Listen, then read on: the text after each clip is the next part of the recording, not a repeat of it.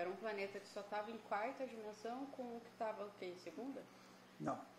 A Terra, que nós conhecemos aqui, essa senhora Gaia, é um ser vivo. Uhum. E ela estava sem referencial físico. Uhum. Assim como nós, todos os humanos, estavam sem referencial físico no outro plano.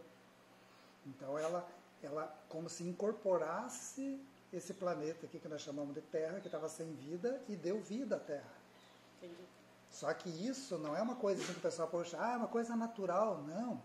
Isso é feito com uma espécie de uma engenharia cósmica que esses seres dominam. Eles conhecem a vida de uma maneira que nós nem imaginamos.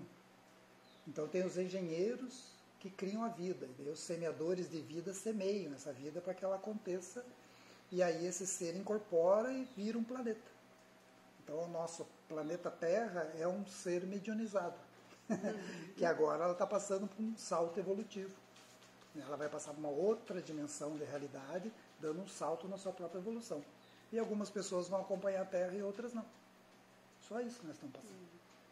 E aí o corpo físico da Terra continuaria na terceira dimensão com essas pessoas que O corpo não... físico da Terra vai continuar nesse tempo, né, e ele vai virar como a gente observa Marte, por exemplo, que parece que está sem vida. Aqui na ah. terceira dimensão ele é sem vida, mas numa quarta dimensão não. Então a Terra vai ficar igual Marte, parece que não tem vida, mas numa outra dimensão vai ter vida. Né? Então nós estamos aqui com uma grande oportunidade de evoluir junto com esse planeta, por isso tem tanta gente nesse mundo tudo esperando ser salto.